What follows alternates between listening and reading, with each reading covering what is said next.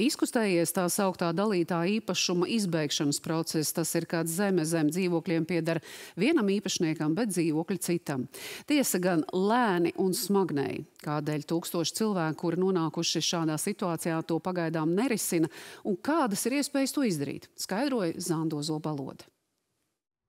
Nepilni 111 tūkstoši dzīvokļu Latvijā atrodas uz zemes, kas pieder citiem īpašniekiem. Kopš šī gada sākuma likums ļauj izbeigt piespiedu nomas attiecības zemi izpērkot, taču pagaidām atsaucība nav liela. Valsts zemes dienas saņēmis 20 pieteikumus no daudzdzīvokļu ēku pārstāvjiem.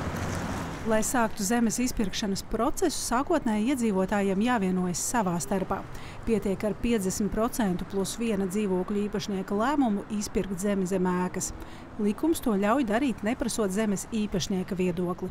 Tā ir um, vienpusēja dzīvokļu īpašnieku tiesība. Proti, ja dzīvokļu īpašnieki šī likuma ietvaros lēma, ka viņi grib izpirkt to privātu personai piedarošo zemi zem savas mājas, tad ir pietiekami ar viņu lēmumu. Brīdī, kad iedzīvotāju vairākums pieņēmis lēmumu zemi pirkt, nākamais solis ir vērsties pašvaldībā. Tā iesniegs pieprasījumu valsts zemes dienestā, kas veiks aprēķinus tajā skaitā, cik katram iedzīvotājam būtu jāmaksā tas neprasa finanšu līdzekļus no, no pašiem iedzīvotājiem, no dzīvokļu īpašniekiem.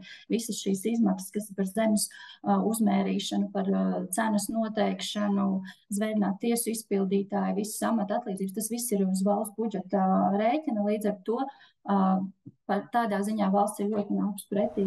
Kad aprēķini veikti, nepieciešams vēl viens iedzīvotāju lēmums par to, ka 50% plus viens piekrīt maksāt prasīto naudu.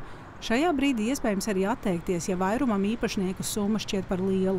Lai zemi izpirktu, var lūgt kredītu Komercbankām. Ja bankas kredītu atteiks, zemes izpirkšanu apņems apmaksāt finanšu institūcija Altuma. Mēs vērtējam uh, mājas iedzīvotāju uh, maksājumu disciplīnu par komunālajiem pakalpojumiem pēdējo 12 uh, mēnešu laikā un viņa nevar pārsniegt 10% parādu saistības. Tas ir nu, principā vienīgais kritērijs, ko mēs diezgan kritiski arī vērtējam. Piebildīšu, ja lielākā daļa iedzīvotāju nobalsojas par zemes izpirkšanu, par to būs jāmaksā pilnīgi visu dzīvokļu īpašniekiem.